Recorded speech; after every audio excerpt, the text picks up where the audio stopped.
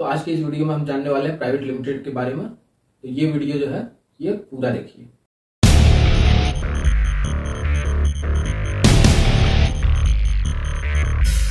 तो आज के इस टाइम में स्टार्टअप का दौर है, जहाँ हर कोई चाहता है कि हम अपना स्टार्टअप खड़ा करें या हम अपना बिज़नेस शुरू करें और लोगों की लाइफ में वैल्यू ऐड करें, अपने परिवार को बहुत अच्छी तरह होता ये है बिज़नेस जो है, इसमें लोगों को क्या लगता है कि बिज़नेस में रिस्क है। तो जिसे तैरना नहीं आता, वो पानी में उतरेगा तो रिस्क है।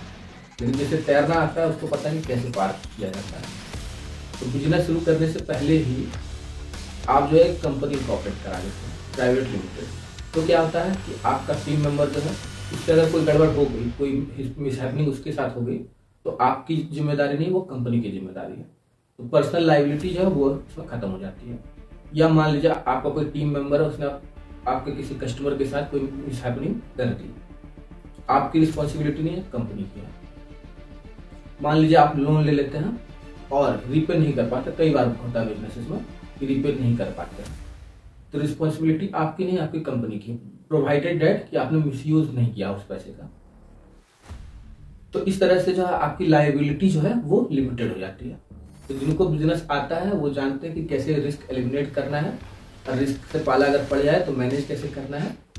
और रिस्क जो है वो मिनिमाइज कैसे करना है। अब दूसरी बात करते हैं कि बिजनेसेस में हम क्या देखते हैं?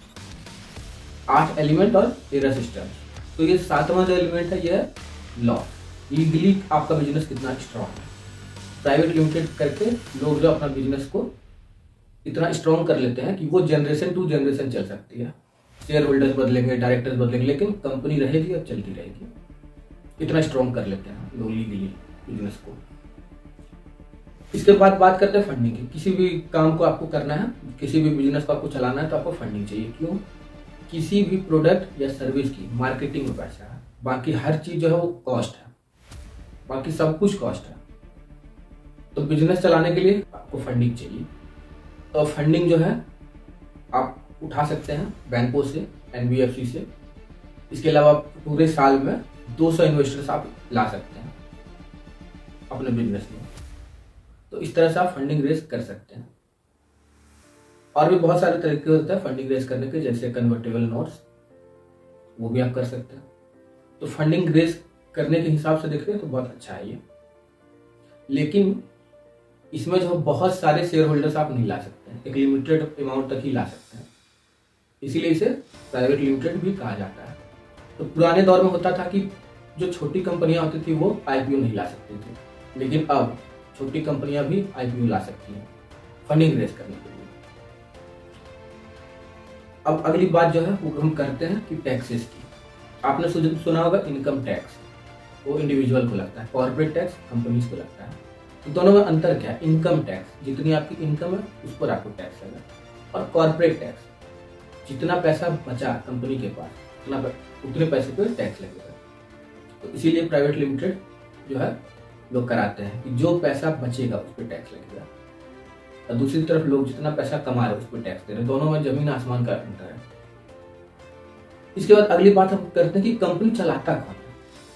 चलाने की ज़िम्मेदारी किसकी है? तो कंपनी चलाने का काम बोर्ड ऑफ़ डायरेक्टर्स करते हैं।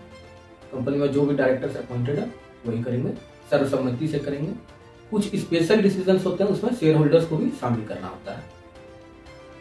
जैसे एनुअल जनरल मीटिंग आप सुनते होंगे तो उसमें शेयर होल्डर्स भी शामिल होते हैं। लेकिन बोर्ड ऑफ़ डायरेक्टर्स की मीटिंग जब होती है तब बोर्ड ऑफ़ डायरेक्टर्स जो सिर्फ़ वही आते हैं। अब बात करते हैं कि प्राइवेट लिमिटेड कंपनी जो ये रजिस्टर होती है। कंपनी एक्ट 2013 के तहत मिनिस्ट्री ऑफ़ कॉर्पोरेट अफेयर्स में रजिस्ट्रेशन इसका होता है। और इसको ट्रांसपेरेंटली जो है मिनिस्ट्री ऑफ़ कॉर्पोरेट अफेयर्स को बताना पड़ता है अपने अफेयर्स के बारे में। कि आपको कितना प्रॉफिट हुआ, कितना लॉस हुआ, कितने इम्प्लॉयज है। कोई सीईओ का अपॉइंटमेंट कोई कंपनी दिखाती है तो यहीं से दिखाती है। लेकिन हाँ इसमें जो है कॉस्टिंग आपकी ज़्यादा है। कॉम्पेटिव टू अदर एंटिटीज खर्च थोड़ा ज़्यादा है तो इसकी कॉस्टिंग थोड़ी ज़्यादा पड़ती है। इसके अलावा आपको कंप्लाइंसेस जो है, वो देखने होते हैं। तो इसके लिए सबसे अच्छा ऑप्शन क्या है कि अगर आपके पास बहुत बड़ा बिज़नेस नहीं है आपका, बहुत बड़ा फंडिंग भी नहीं है तो स्मॉल कंपनी के तौर पर रजिस्टर करा देंगे आप अपनी कंपनी को तो कंप्लाइंसेस बहुत कम हो जाता है।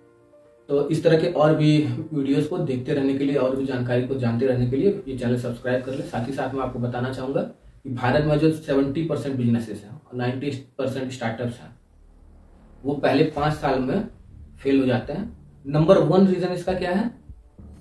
लैक ऑफ़ रिवेन्यू इतनी रिवेन्यू जनरेट ही नहीं हो पाती है कि वो सर्वाइव कर पाए।